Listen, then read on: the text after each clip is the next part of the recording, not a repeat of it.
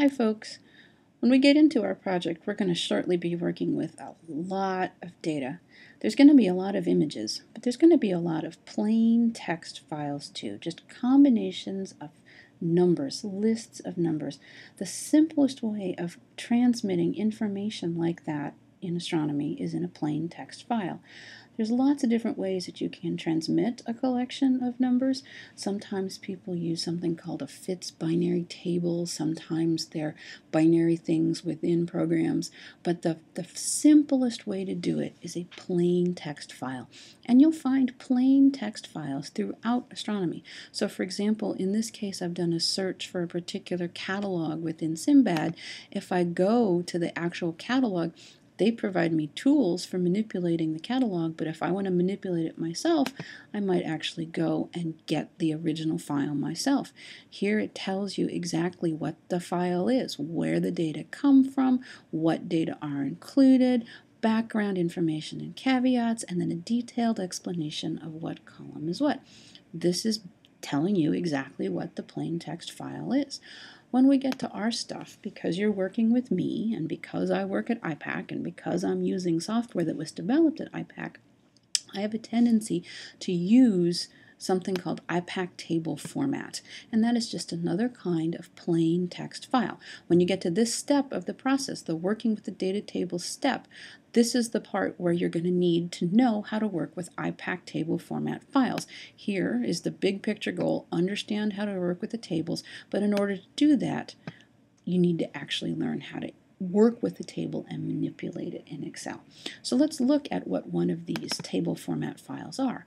When you go and copy that file to your desktop, you're going to see something that looks like this. It's going to have some kind of uh, file name that I'm going to give it that hopefully will be self-explanatory, like in this case, this contains probably just a list of the YSOs, and it ends in a .tbl format.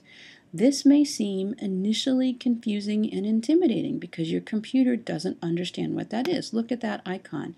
It's empty because the computer doesn't understand exactly what a .tbl format file is. There's a couple different ways that you can get access to just see exactly what that file is. The simplest way to do it is to go to a terminal window and actually type more on the file. Now this shows you the first couple of lines of the file. Here there's a first couple of comments. Look, band merge B to MIPS 24 catalog for Just YSOs. It was produced on Thursday, October 28th, 2010 by me, and there are 30 sources in the file. And minus 9 means no data available. That's kind of the minimum bit of information you need to know the history, the provenance of this file. Now it becomes really kind of confusing there's a whole bunch of things here. And what's really going on is that this is a very long line and it's wrapping on my screen. It's wrapping around. So it's not showing me one it, it is one showing me one line, but it's wrapping funny around the screen. So let's think of a different way to access that information content. I can take it and I can drag and drop it on top of a text editor. Then I can change the window size.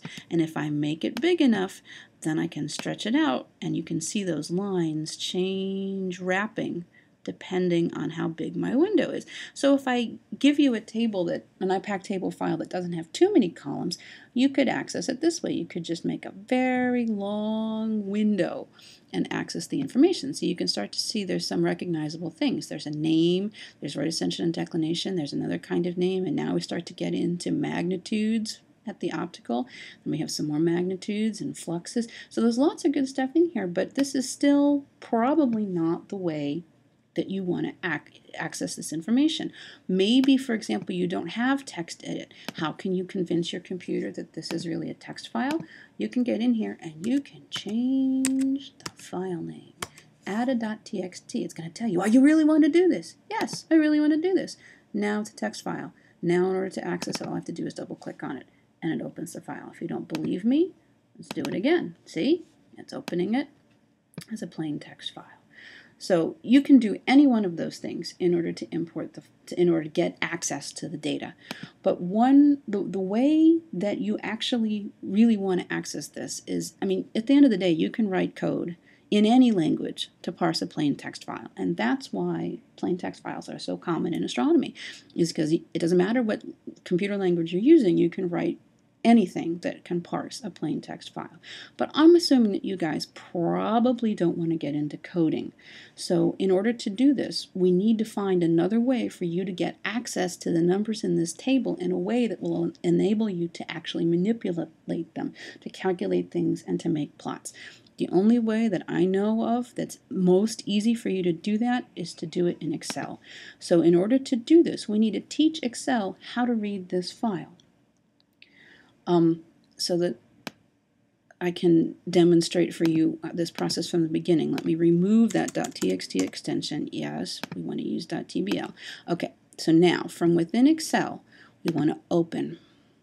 Now, if you yourself have left that .txt extension, it will automatically show up as a readable file.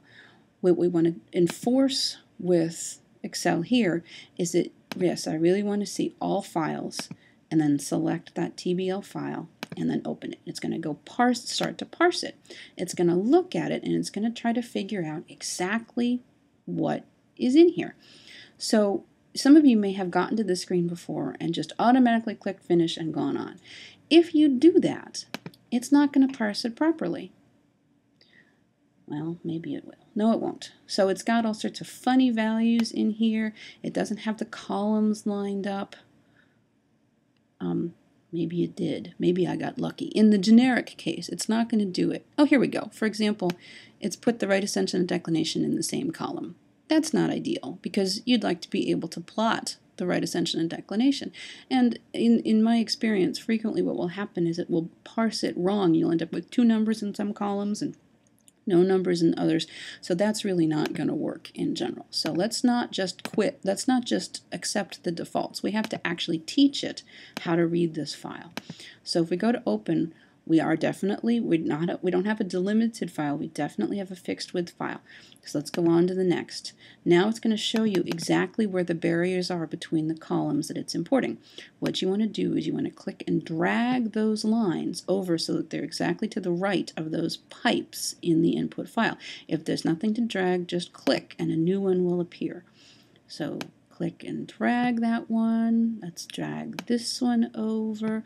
Let's drag this one over and just keep going through the whole file until you get until you teach Excel exactly where the boundaries are between columns and exactly what it is that you want it to import.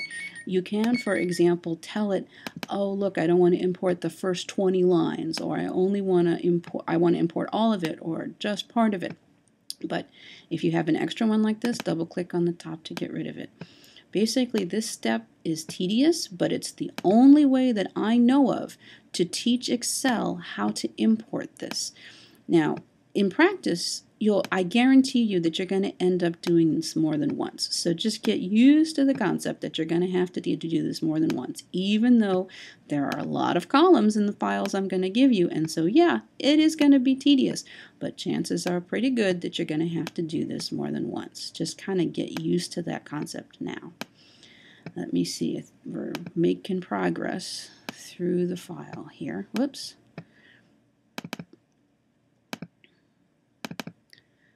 There's one. Let's see, there should be one there. Let's keep going. Get rid of that one. Drag that one over. Drag that one over. Get rid of that one. Get rid of that one. Drag that one over. Drag that one over. We're getting to the end. Get rid of this one.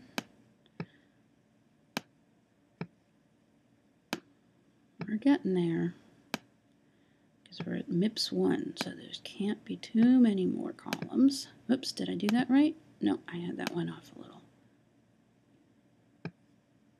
Let's get rid of that one. Okay, so now we can click Next. And if you really want to individually format each one of these columns, you can, but in general, it does okay by default on that.